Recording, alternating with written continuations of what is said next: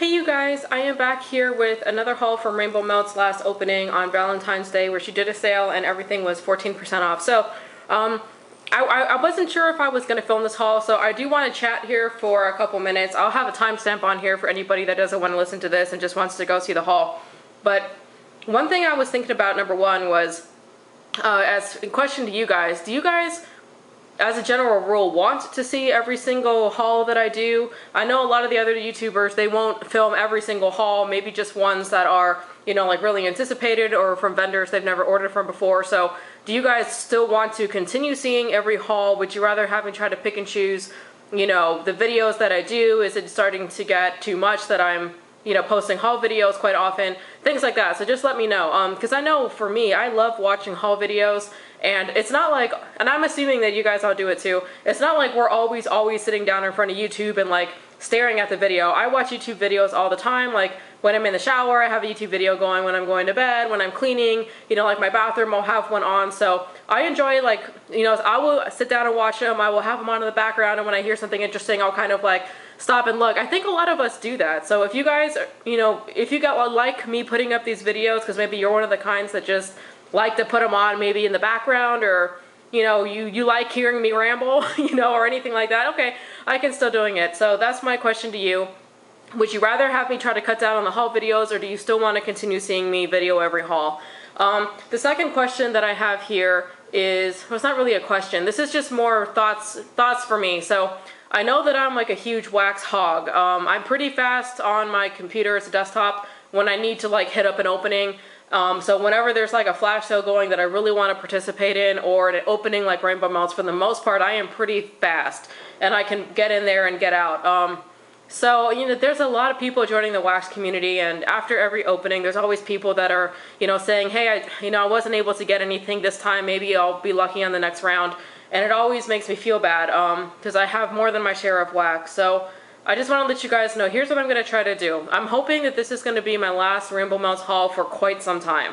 Like maybe up even until the fall. Um, it's just, I, I really don't need to buy any more wax. I really just need to stop and just start melting through what I have. Now I do have a lot of orders coming in this next week. I have like the Sensei flash sale, the Mariposa Candle Company, I made an order. I made a rather large order with Vintage Seek Scents in their last reopening. I still have more Rose, Rose Girls coming in um, and things like that. Now I do want to hit up like lasting scent candles if I can when they open it, when they open, um, and then I, I things like that. But here's what I'm so I'm rambling, but this is really what I want to do for the companies that it's hard to get in there and to get their wax. I am really going to try to stop or definitely decrease the amount that I order from them. For Rainbow Melts, I'm going to try to go on a Rainbow Melts ban until the fall. Um, no matter what kind of yummy blends Crystal puts up, I'm going to really try to hold out amount through what I have. Uh, I ordered from Daphne's Divine last time. I'm going to try to hold out as well so everyone else can try her yummy wax. I'm going to try my best to sit out of the next Rose Girls opening. Not that I would necessarily get an order in anyway, but um, even if I could, I'm going to try my best to sit that one out. I sat out the last candles from the keeping room. I am going to try to continue sitting out from candles from the keeping room. For the, okay, here's for the most part, I am going to try my best to stop ordering wax from vendors that have like high stress, high demand openings. Um, if I do feel the need to order wax, I'm going to try to place it from companies where you know, like the ones that are more open all the time, Front Porch, Ava's Country Covered, the ones that I feel like I can buy wax guilt free and that I'm not like stealing wax from somebody else. I'm going to try to not hit up um, Super Tarts. I'm not going to sign up for any of the pans. I already have a lot of them. I'm not to, I'm going to try my best to not hit up that opening. I'm kind of looking around here trying to assess what it is. So, you know, this weekend I've had a lot of time to myself. My husband's been working most of the weekend. I've been sitting around, I'm looking at all the wax, and it's beginning to really tire me out. Like there's just so much of it. It's constant work, changing out the warmers, um, organizing it, uh, you know, stashing it and reorganizing it. I know I'm bitching about stupid things, you guys. Oh, organizing wax. My life is terrible. It's not, but it's just, it's a hobby that's just really overtaking, I think, way too much. So at this point, I really just need to stop or I am never going to be able to stop buying, but I really need to minimize the buying. I need to give everybody else a chance to get in there and get those hard to hard to get vendors. Um, and I'm really going to try. I'm not going to promise that I'm going to be able to. Like if something super yummy comes up on candles from the keeping room, you know, I may have to go in there and snag one or two bags or five or six bags. Let's be honest here. But I am aware that I have more than my share of wax, and there's plenty of people out there who I would rather get all of this yummy wax over me um, from now on. So I'm going to do my best, do my best to minimize the buying and only buy from vendors that are easy to get wax from and readily available. All right, you guys, I'm really sorry. This is five minutes of me rambling. I didn't know whether I should have filmed a separate video or, um, you know, filmed it in this video. I decided to just do it in this Rainbow Melts one because I am probably the biggest Rainbow Melts hog out there, or one of the biggest Rainbow Melts hog. I think I've only ever missed one of Crystal's openings since I started opening from ordering from Rainbow Melts. And this last opening, there were a ton of people that, you know, missed out. So, you know, this is it. I'm done. I'm done. But I really did want to film this video and show you some of these yummy, summery, um, fruity blends that Crystal came up with that I think smell really awesome and hopefully she has for the next free stock. So I am so sorry about this if this intro pissed you off. If it did, hopefully you either skipped ahead or, you know, it's, it is what it is. So I got the same, um, you know, bag here from Crystal that always has, I already ate the other piece of candy. It came with two pieces of candy. And it also came with two samples. This one I've actually have not seen from her before. Was just a sample in Bakery Shop. It kind of just smells like a really nice like sugared pie crust kind of scent. Maybe with like a little bit of caramel. Or maple or something. But that's that's quite nice. Um, I'm not detecting any spice in there. Like I don't think I smell cinnamon or anything like that. But it, I, I quite like that one resist. I'm done. Resist. I'm not gonna. I'm not buying that at the next opening. No matter how good Bakery Shop is, this is all I get. I'm done. I'm done.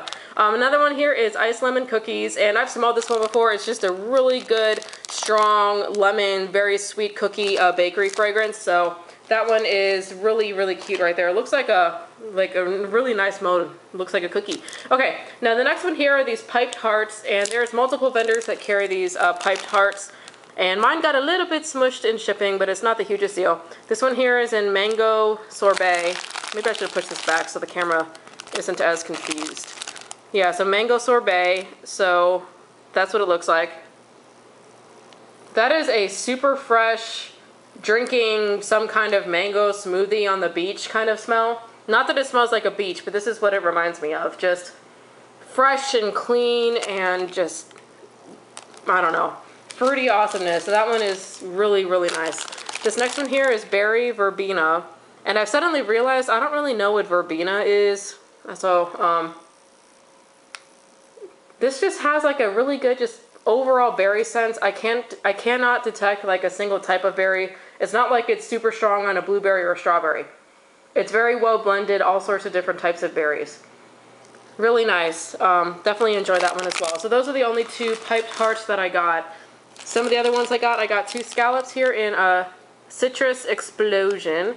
And especially going into spring here soon, I think we're all into our, um, you know, fruity scents. This one is really nice. On cold throw, I can't smell it um, a whole heck of a lot. But it kind of just has like, I don't know, not a super strong orange, but definitely like an orange, um, maybe lemony kind of smell. So that one is definitely really good. I enjoy that one for sure. Next one here is Zucchini Birthday Noel. And I got this because I was assuming birthday was birthday cake. And I really love sweet zucchini scents. Yeah, this is a very sweet zucchini scent. This is just gorgeous. Mmm, so, so delicious. Not buying anymore at the next opening. Done, done. All right, um, I got a chunky heart here, and man, this thing is chunky. Look at that thing. It's heavy. I should have weighed this. I mean, I am a very generous melter, but even I would have to cut this in half. And there's like the chunks go all the way through. This one here is in blue raspberry, jolly rancher, pomegranate, and lemonade. That lemonade is really strong and very authentic smelling. It smells like a fresh glass of icy lemonade. I can smell the pomegranate because it's got that slight tart pomegranate fruit smell.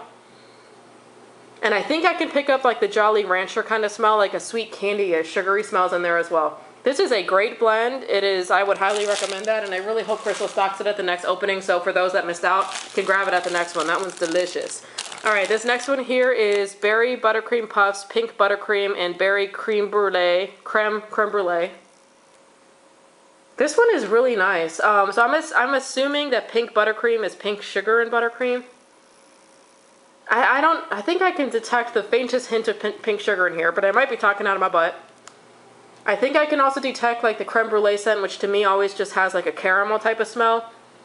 This is a really nice one, and one thing I really like about it is that it does not smell artificial on cold. Because sometimes like with scents like this, it kind of overall can have like an artificial smell. This doesn't. On cold, that one just smells really amazing.